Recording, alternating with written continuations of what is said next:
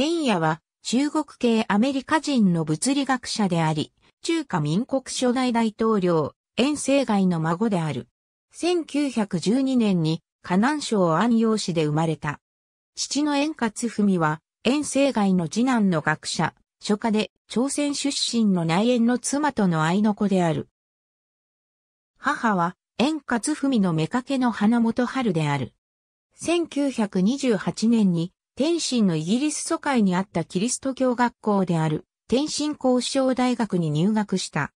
3年生の時、物理学を勉強するために北京の遠京大学に転入し、理論物理学者、シャタマメの指導を受けた。遠京大学で1932年に学士号、1934年に修士号を取得した。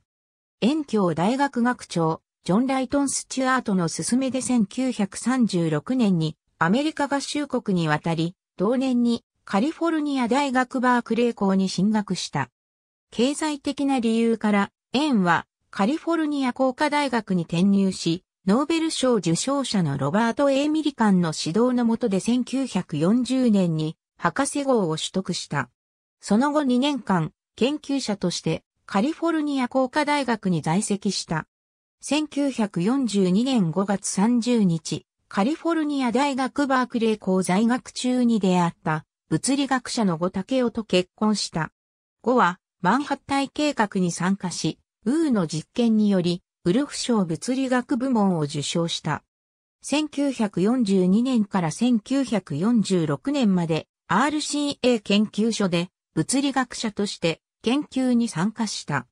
1950年よりブルックヘブン国立研究所で上級物理学者及び科学教育者として勤務した。1958年にグッケンハイムフェローを受賞した。1959年、中華民国中央研究院の院士となった。1981年には中華民国の国立シンクロトロン放射研究センターの設立を支援した。1982年、台湾の科学の発展に対する特別な貢献が認められ、中華民国総統から紫色大樹形成勲章を授与された。また、クレーン自然科学財団を設立した。明徳初級中学2001年6月の天津での学術会議に参加中に心筋梗塞となり、同年7月13日に北京共和病院に入院した。心筋梗塞と脳血栓症の悪化により、2003年2月11日に同病院で亡くなった。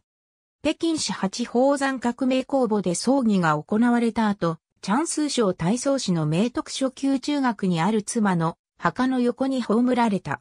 彼と妻の遺品の一部は中国、南京にある五竹尾記念館に寄贈された。